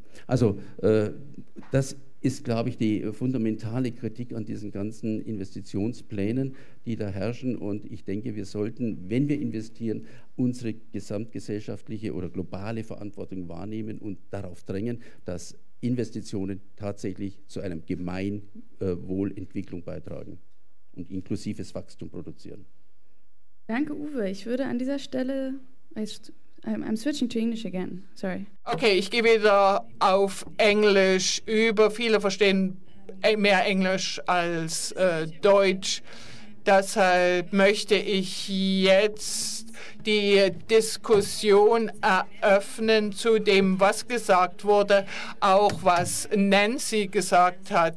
Also äh, bitte denken Sie kurz darüber nach, äh, was Sie äh, bisher hier gehört haben. Gibt es ein Saalmikro?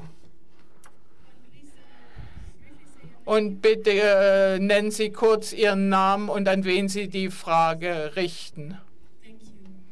Vielen Dank. Ich bin Ishi Gabbett, eine Wissenschaftlerin von der Göttingen Universität und dem Max Planck Institut.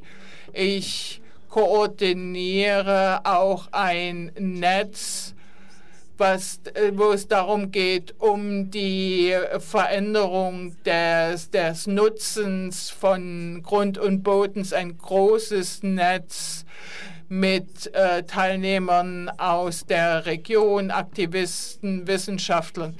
Erst einmal möchte ich mich bei Ihnen bedanken und ich möchte mich auch bedanken bei Nancy Gestern habe ich mich nicht so wohl gefühlt aufgrund der Verallgemeinerung. Ich weiß, was Carlos uns sagen wollte, aber das, was wir jetzt hier gemacht haben, ist so wichtig.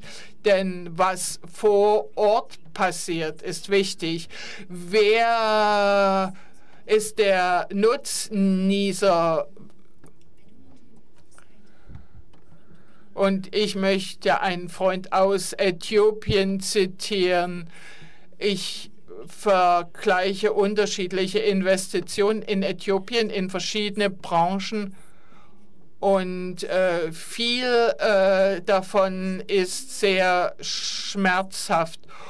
Und das Argument ist, dass eigentlich irgendwann jeder einmal Nutzen daraus ziehen wird. Aber mehr nach zehn Jahren kann ich sagen, das ist nicht passiert. Es gibt viele fehlgeschlagene Investitionen, viele Menschen, die äh, immer noch arm sind. Hier spreche ich um Zuckerrohr. Viele Menschen, die ihren Lebensunterhalt äh, verloren haben und die nie dafür kompensiert worden sind. Was ich also hier feststellen wollen, es gibt diese Trennung zwischen den Managern und den Gemanagten und diese Trennung ist immer noch extrem. Und ein äthiopischer Politiker hat mir gesagt, das ist wirklich sehr schmerzhaft. Sie haben die Frage nach den Sweatshops äh, gestellt. Äh, viele sind nicht die Nutznießer. Ich möchte meinen Freund zitieren, der über Schulen gesprochen hat, aber das sagt auch etwas zur Landwirtschaft. Und dann komme ich auch schon zum Ende. Was wir wollen, sind gute Schulen, die das Wissen integrieren und auch unsere kleinsten Kinder respektieren, sodass sie stolz äh, das in Zusammenhang bringen können mit den Dingen, die wir ihnen nicht lehren können.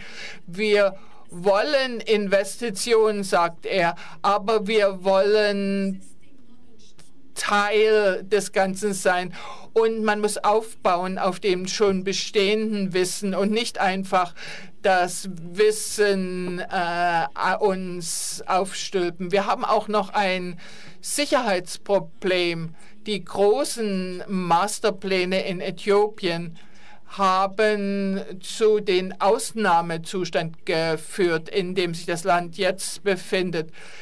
Das äh, fand statt nach Angriffen auf 68 Investitionsprojekte im November letzten Jahres. Das der Grund war, die Menschen waren nicht zufrieden mit den äh, Masterplänen. Und wenn die Menschen so unzufrieden sind, kann das kein äh, Nutzen sein. Diese Trennung existiert noch weiter die lokale Bevölkerung, zwischen der lokalen Bevölkerung und den Managern wie kann man das zusammenbringen? Welche Vorstellung haben Sie? Denn das ist, kann wirklich auch ein Sicherheitsproblem sein.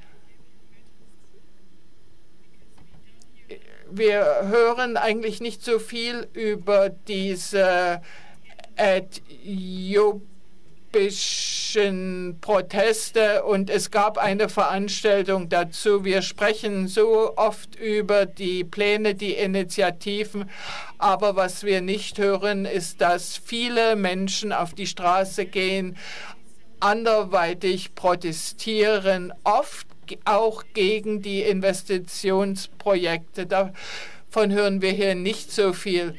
Bitte versuchen Sie, sich ein bisschen kürzer zu fassen und ich werde zwei oder drei sammeln. Ich bin Elisa, Journalistin und ich werde mich kurz fassen. Wir haben viel gehört, was schief gelaufen ist. Gibt es aber auch Best Practice Beispiele, wo die lokalen Bevölkerung von Anfang an mit einbezogen war?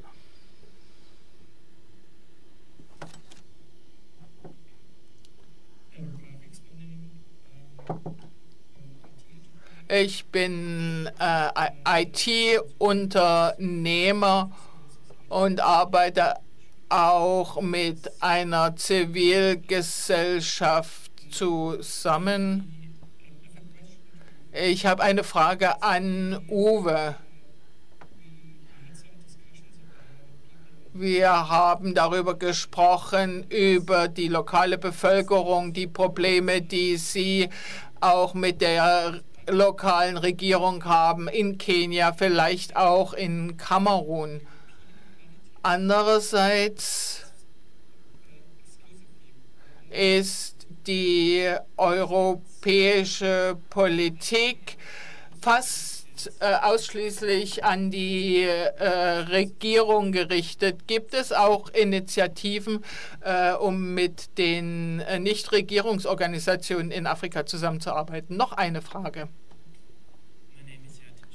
I'm Yadin Cha, ich bin Arzt und ich möchte Ikal und Martin fragen, was glauben Sie, wie kann man zu einer guten Regierungsführung in Afrika kommen? Wie kann die lokale Bevölkerung mit äh, einbezogen werden? So oft die Investoren kommen überhaupt nicht mit der lokalen Bevölkerung in Kontakt. Sie sprechen zu den Mächtigen, die ihre eigene Agenda haben und keine Beziehung zur lokalen Bevölkerung. Also vier äh, Fragen die Trennlinie zwischen den Managern und der lokalen Bevölkerung, dann Best Practices,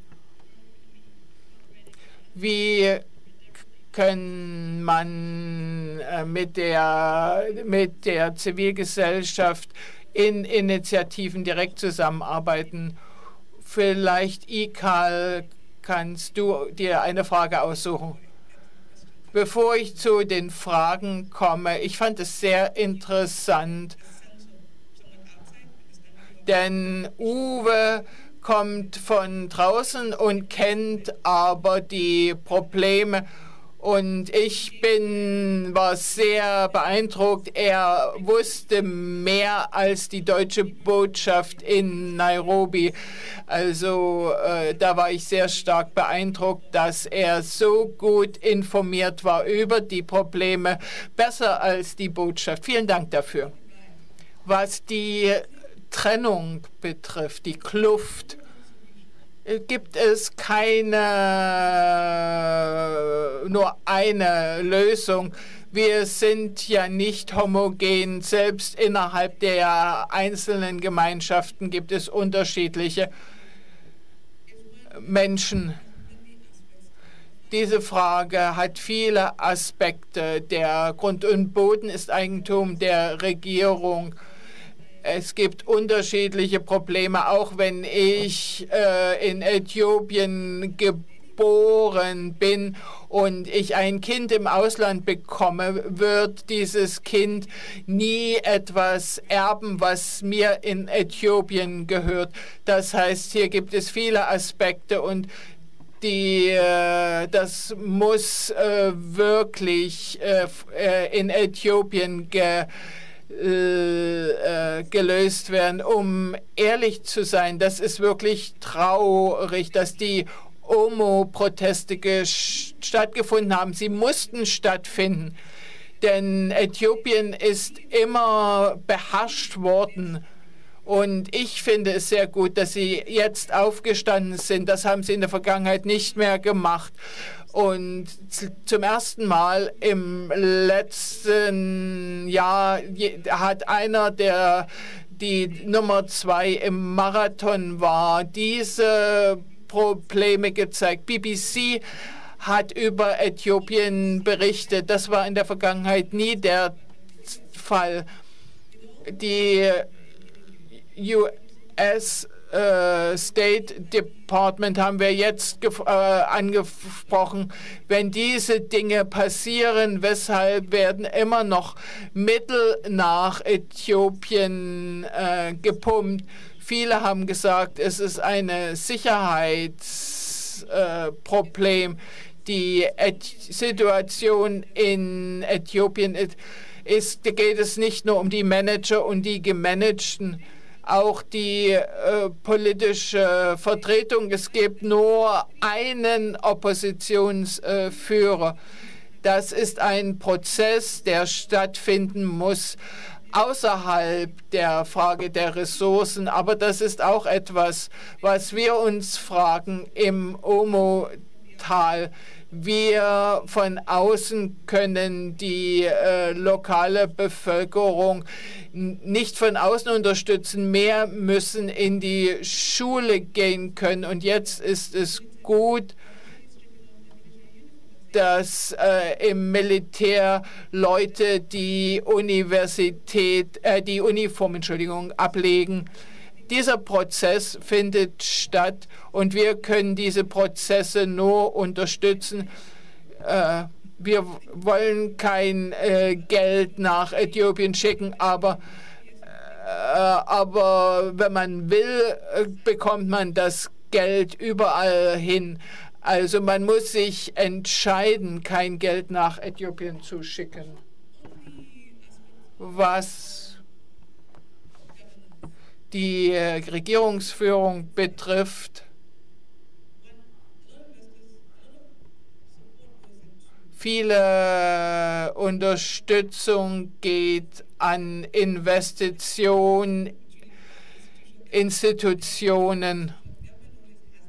Die Regierungen haben solche Institutionen und sie sagen, dass hier haben wir die Privatwirtschaft. Es gibt viele solche Institutionen, die man nutzen kann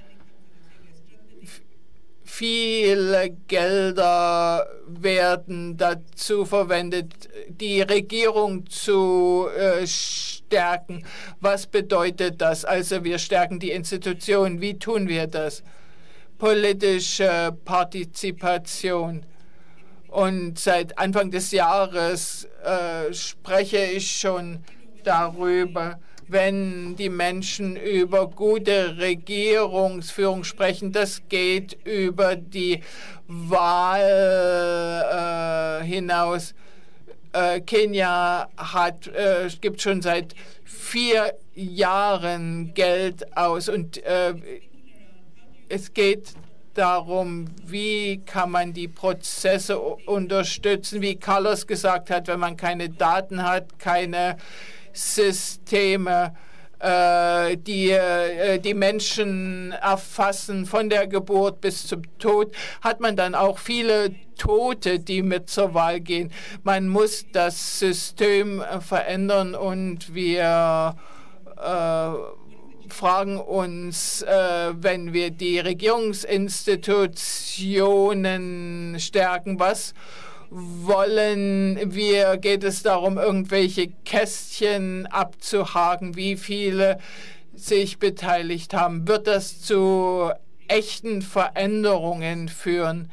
Es geht mehr äh, über die Schnelllösung hinaus zu gehen, strategische Lösung. Diese Prozesse müssen über die fünf Jahrpläne, die wir normalerweise entwickeln, hinausgehen.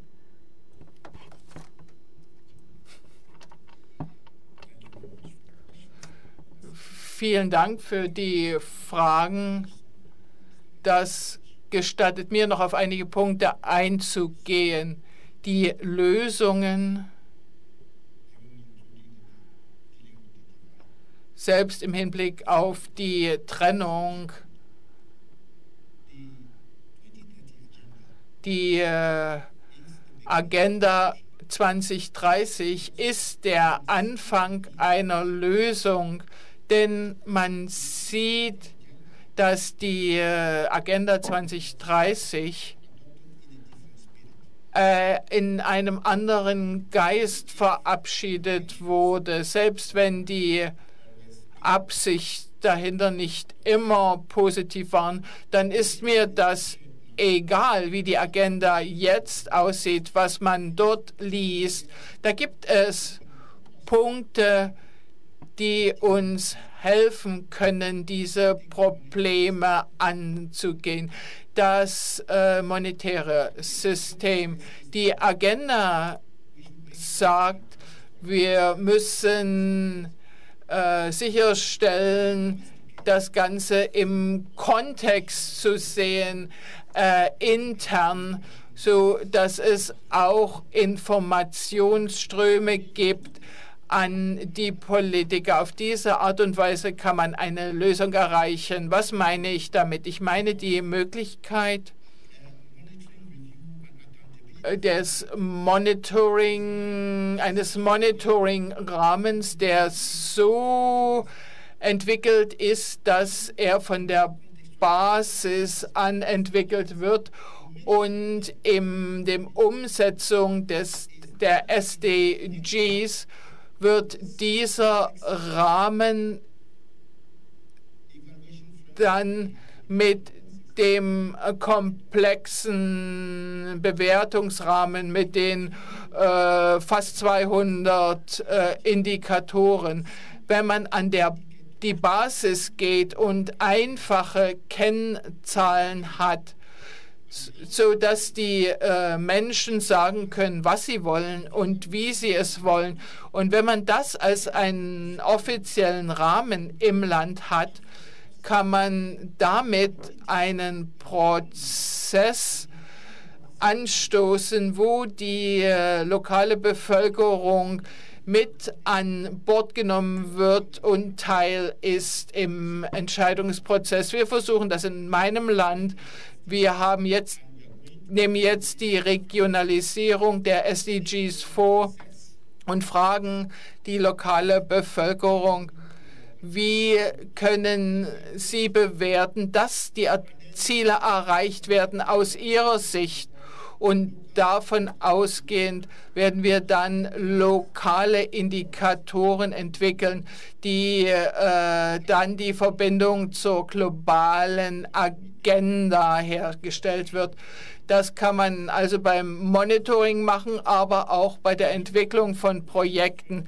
Das heißt, wir brauchen einen offiziellen Rahmen, wo die Menschen an der Basis mit einbezogen werden. Wir sollten hier das Ganze nicht vorab definieren. Wir sollten ganz konkret die lokale Bevölkerung bezogen auf den jeweiligen Einzelfall einbeziehen.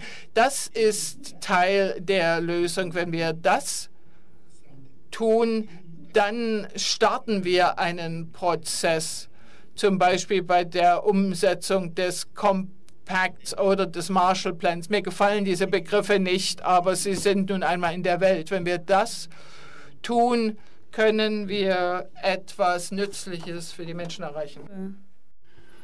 Ja, vielen Dank, Uwe. Die Frage der Zusammenarbeit zwischen äh, der Regierung und äh, der Grünen Partei und CSUs. Ja, offizielle Entwicklungszusammenarbeit. Es ist natürlich richtig, dass äh, die Bundesregierung mit den Partnerländern einen Staatsvertrag abschließen. Und da wird sehr viel festgelegt. Aber es ist natürlich nicht so, dass alles Geld automatisch zum Staat geht, sondern in vielen Fällen äh, besteht die Möglichkeit, dass die NGOs direkt äh, unterstützt werden. Und das wird auch umgesetzt. Also äh, gerade auch solche Organisationen wie Miserio, Brot für die Welt, die haben ein ja, ein pauschales Budget, da mischt sich der Staat überhaupt nicht ein, wie das umgesetzt wird. Und Brot für die Welt arbeitet eben auch mit NGOs vor Ort. Ja, die haben nicht selber Projekte, sondern sie unterstützen, begleiten Projekte vor Ort. Und natürlich ist es auch durchaus möglich, über äh, staatliche Gelder, über irgendjemand verteilt es dann schon, ist es jetzt die GIZ oder ist es die KfW, mit äh, lokalen Initiativen vor Ort zusammenzuarbeiten. Also ich habe wunderbarste Projekte gesehen, äh, zum Beispiel in Sierra Leone und und in Liberia zum Thema Frauenbeschneidung. Das ist etwas, was wir aus Deutschland nicht leisten können. Das Zivil, äh, muss Zivilgesellschaft vor Ort, die sich mit der Materie, mit den Verhältnissen auskennt, leisten. Und da ist äh, jahrelang äh, Unterstützung gelaufen. Das Problem mit dieser Unterstützung von zivilen äh, Organisationen besteht darin, dass die Projekte immer auf drei Jahre befristet sind und das ist oftmals viel zu kurz, äh, was aber trotzdem oftmals dann trotzdem beendet wird, ja, weil man sagt, naja, man geht in einen anderen Bereich, was schade ist, denn viele dieser Projekte sind sehr sinnvoll und äh, sie sollten durchaus auch länger äh, fortgeführt werden. Das ist also das, was ich dazu sagen kann. Aber ich hätte jetzt dann schon noch eine Frage an Sie. Darf ich auch was fragen? Ja, wir machen eine letzte Fragerunde. Am besten startest du einfach dann direkt. Ja. 20 Sekunden pro Frage ab jetzt. No, 40, 40 seconds, ja. Yeah. Uh, we are always engaged in decentralization. Wir sind ja immer an Dezentralisierungsprogramme äh, ähm, beteiligt und Kenia hat äh, eine, neue, eine, neue, äh, eine neue Verfassung, die die regionale Gebiete stärkt.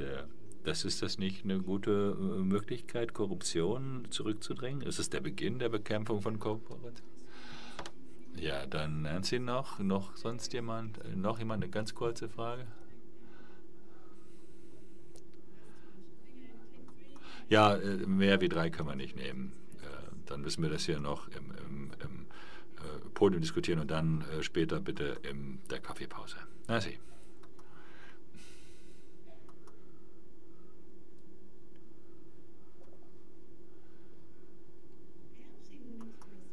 Ich wollte eigentlich antworten auf einige Kommentare zum Thema Sicherheit und äh, Regierungsführung äh, mit einem sehr spezifischen Beispiel hier. Viele PPP-Verträge haben da einen, äh, eine Klausel, wenn es Streiks gibt, gewerkschaftlich organisierte Streiks, oder Proteste, Demonstrationen, die zu einer Verzögerung eines Projektes führen, dann, so die Vorschrift, hat die Gastregierung den Investor zu bezahlen dafür. Einige Regierungen werden sagen, äh, ich will doch den Investor nicht bezahlen. Dann schicke ich einfach die Militärs raus, um den Streik da niederzuschlagen oder den Protest. Und da haben wir äh, mehr Repression äh, der Zivilgesellschaft aufgrund solcher Vorschriften. Und das ist ein Punkt, der wichtig ist zu betonen. Denn wenn wir Good Governance fordern, wenn wir gute Regierungsführung fordern, dann ist es wichtig auch zu sehen, was denn die Hindernisse in Richtung Good Governance sind, um gute Regierungsführung dann auch zu bekommen. Und natürlich äh, und äh, äh Verträge, äh, ja, und da gibt es Verträge, die sind wie ein Sandwich. Ne? Zwischendrin äh, ähm, ist der Vertrag, drumherum ist ein bisschen Garnitur. Und das hat dann auch mit dem Investor Dispute Mechanism zu tun. Das heißt, ein ausländisches Unternehmen kann äh, eine äh, Regierung verklagen. Äh, es gibt nicht genug Revenues, es gibt nicht genug Leute, die äh, die Maut bezahlen oder es gibt nicht genug Leute, die auf die Schule ähm, äh, äh, gehen, da, die wir gebaut haben. Das heißt, der Vertrag ist wie eine Investitionsvereinbarung, gibt dem Investor jede Menge Rechte. Und deswegen brauchen wir auch hier auch äh, jede Menge Transparenz, insbesondere Vertragstransparenz. Ja, vielen Dank für diesen äh, Einwurf. Ja, und weiter geht's bitte.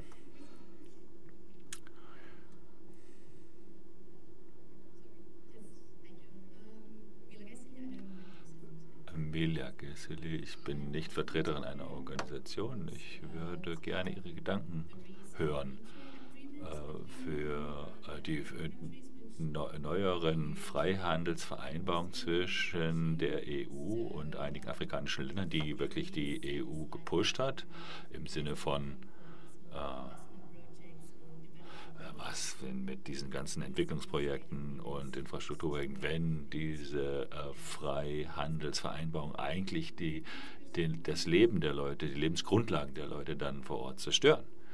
Weitere Frage hier vorne. Es ist eher ein Kommentar als eine äh, äh, Frage. Warum sind wir heute hier? Wir wollen ja was ändern wie der West mit äh, Afrika Transaktionen äh, durchführt. Und viel dessen, was wir da diskutieren, scheint ja zu basieren auf der, auf der Denke des Westens. Wir in Afrika haben die Verantwortung, unsere eigenen Beziehungen zu bauen und an den Tisch zu kommen mit äh, etwas Starkem mit, einer, mit einem Angebot, mit einer Transaktion. Und in dieser Transaktion sollten die Dinge äh, fair vorgehen. Ähm, der letzte Redner hat von EPA gesprochen und das wollte ich sagen, das steht nicht für Denken. Für ein, für ein Denken, äh, da haben wir eine Vereinbarung, von dem wir erwartet werden, es zu unterzeichnen, ohne dass wir das vorher ausgehandelt haben. Das äh, äh offensichtlich will der West Westen äh, in seinem Umgang mit Afrika sich nicht ändern möchte. Und das verhindert Entwicklung in Afrika. Vielen Dank, äh, Uso äh. Ja, Freihandelsvereinbarungen. Wenn man dann diese Freihandelsvereinbarung ist, muss man dann noch über andere Dinge äh, diskutieren und ruinieren, ruinieren die dann alles andere. Gibt es noch weitere Fragen, Kommentare für die letzte Podiumsdiskutantenrunde? Äh, Wenn dem nicht der Fall ist, dann geht's los hier nach dem Podium. Irgendwie wollen Sie immer, dass ich anfange. Der Freihandelsvereinbarung, äh, das, das sollte man nicht machen, wenn man Freiheit hat zu machen, was man will. Denn in einem Freihandelsvereinbarung mit Afrika ist nichts Gutes drin. Und selbst die, die die Freihandelsvereinbarung gebracht haben, haben anerkannt, dass da nichts Gutes steckte. Eine der Klauseln der Freihandelsvereinbarung ist ja, dass äh, dass sie, die dass sie sozusagen äh, haftbar sind für die Konsequenzen. Und so viel zu Freihandelsvereinbarungen. Ein weiteres Problem mit den Freiheitsvereinbarungen ist ein ähnliches Problem wie das, was wir jetzt diskutieren. Die Freiheitsvereinbarungen haben nichts mit dem zu tun, was die Bevölkerung will. Selbst äh, Länder, die das unterzeichnet haben, mein Land hat es unterzeichnet, selbst in, in meinem Land wollten die, wollte die Bevölkerung das nicht. Und es gibt auch Widerstand. Es gibt nichts Gutes an Freihandelsvereinbarungen. Nichts für Afrika. Gut für die, die Freihandelsverträge pushen. Und wenn wir am Tisch sitzen wollen, dann müssen wir zumindest vereinbaren, äh, wie man seine eigenen Interessen schützt. Und das fehlt vollständig in den Freihandelsvereinbarungen die Investitionen, die kommen,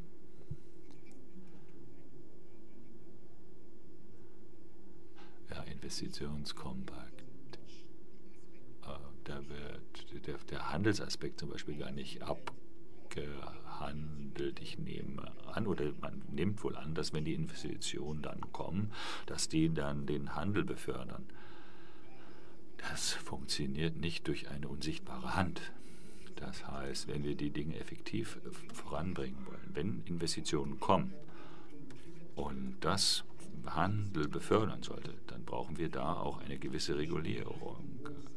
Das ganze System muss rational geschaltet werden und sicherstellen, solange wir investieren, dass wir auch Profit machen, dass auch eine gewisse soziale Dienste für die Afrikaner drin sind und am Schluss der Kontinent Nutzen zieht. Wo ist der Nutzen im Moment? Und das ist die Frage der Verhandlung. Ja, wir müssen unsere Verhandlungsart ähm, und Weise ändern ne? im Interesse Afrikas. Danke.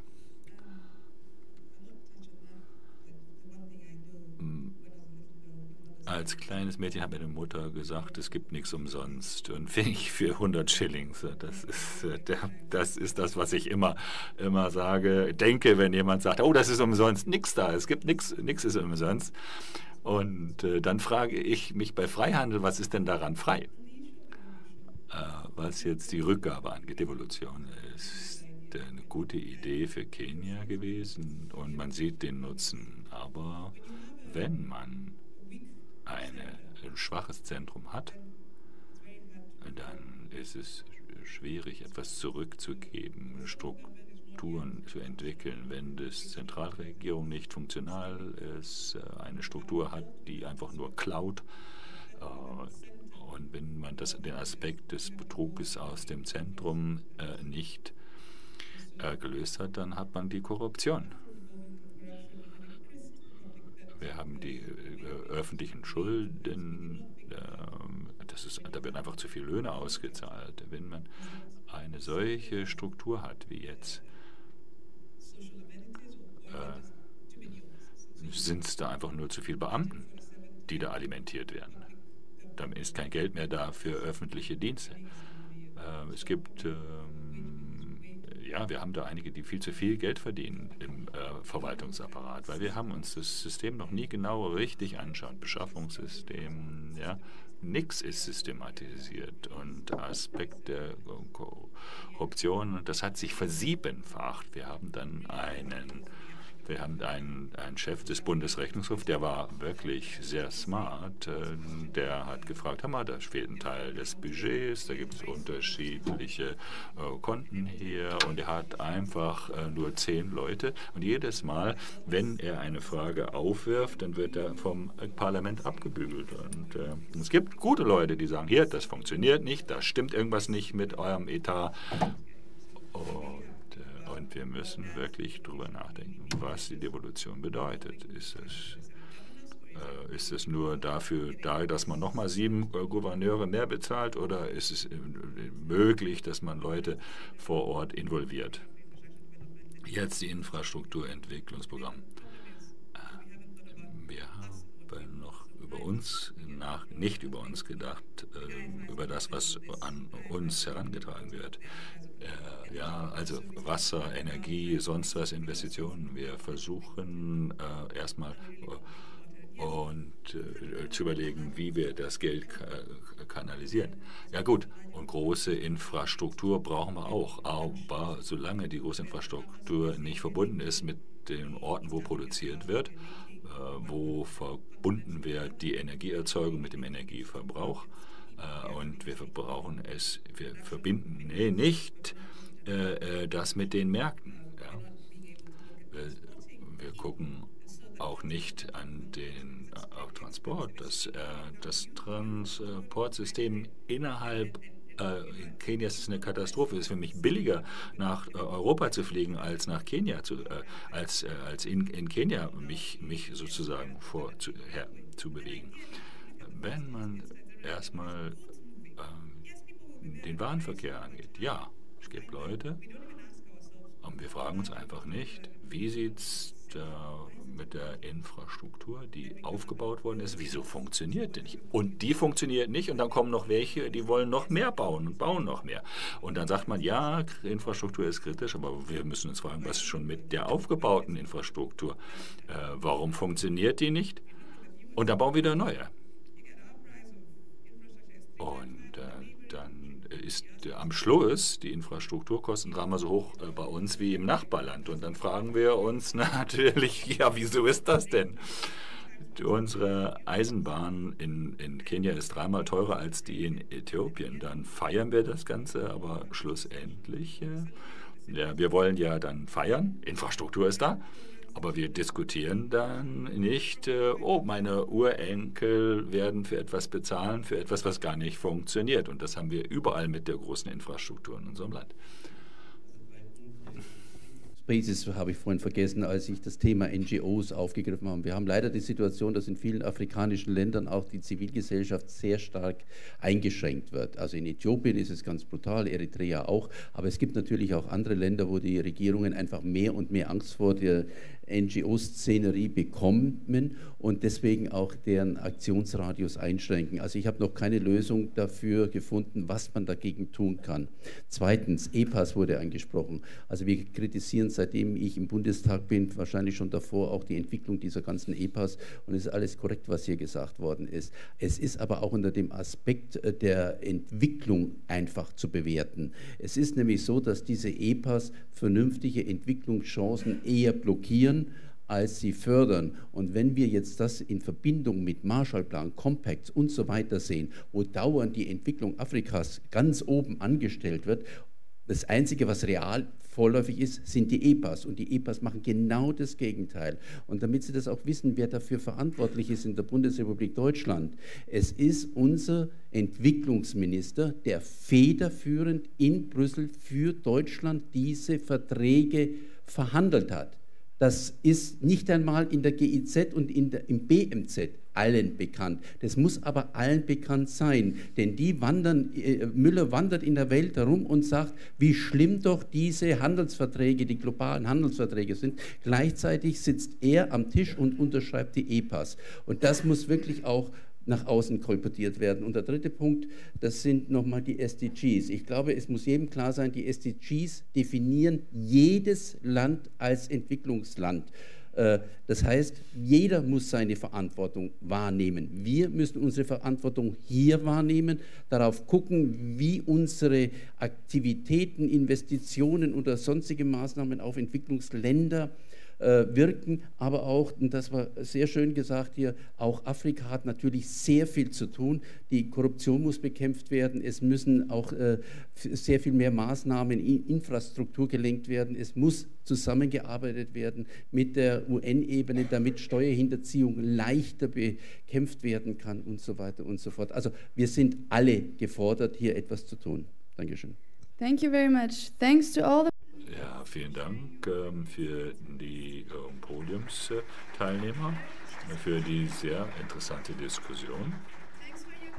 Vielen Dank für die Fragen und Kommentare. Ganz kurz möchte ich Aufmerksamkeit lenken darauf, äh, es gibt natürlich nicht nur die Konferenz von gestern und heute.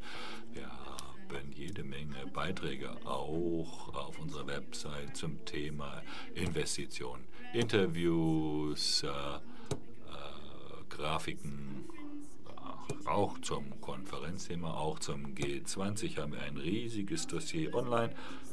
Und von, wenn Sie interessiert sind an Protestbewegungen, es gibt auch eine Reihe von Beiträgen ähm, vom, äh, von Afrika Pricing, einer Konferenz, die wir hier äh, früher im Jahr hatten. Jetzt haben wir 15 Minuten Pause und danach haben wir zwei brillante und äh, sehr kontroverse äh, Intellektuelle, Dr. Ludger Schuknecht und Dr. David Nidi. Bis gleich.